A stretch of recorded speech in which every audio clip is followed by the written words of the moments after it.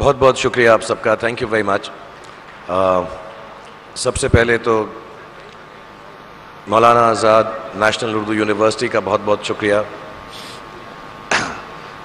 जफ़र साहब आपका बहुत शुक्रिया। परवेज साहब आपका बहुत शुक्रिया। जितने फैकल्टी मेंबर्स यहाँ पर हैं जितने स्टूडेंट्स यहाँ पर हैं जितना स्टाफ पूरी यूनिवर्सिटी का है। क्योंकि मुझे मालूम नहीं कि मैं आ, इस ऑनर के काबिल हूँ या नहीं लेकिन अब आपने दे ही दिया है तो मैं बहुत खुश हूँ। और मुझसे ज़्यादा खुशी एक्चुअली अगर मेरे फादर और मदर होते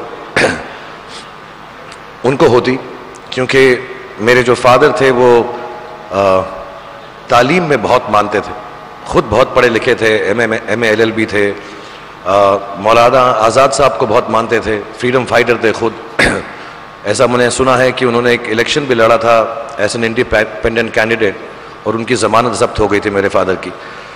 तो वो बहुत ही ज़्यादा थे और बहुत खूबसूरत उर्दू और पर्शियन खुद बोलते थे।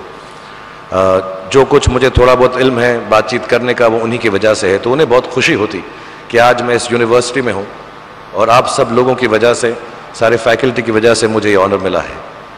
और मेरी मम्मी को और भी ज़्यादा खुशी होती क्योंकि मैं उनके बर्थ प्लेस हैदराबाद में मुझे अवार्ड मिल रहा है so I take this as a I take this as a very big responsibility in the field of education and in the field of Urdu and languages that through my work, whatever little I can do, I promise, I will make sure that I take it to the best of my capabilities. So thank you very much for honoring me and thank you for having me here. And thank you everybody for being so kind and so generous. Thank you so much.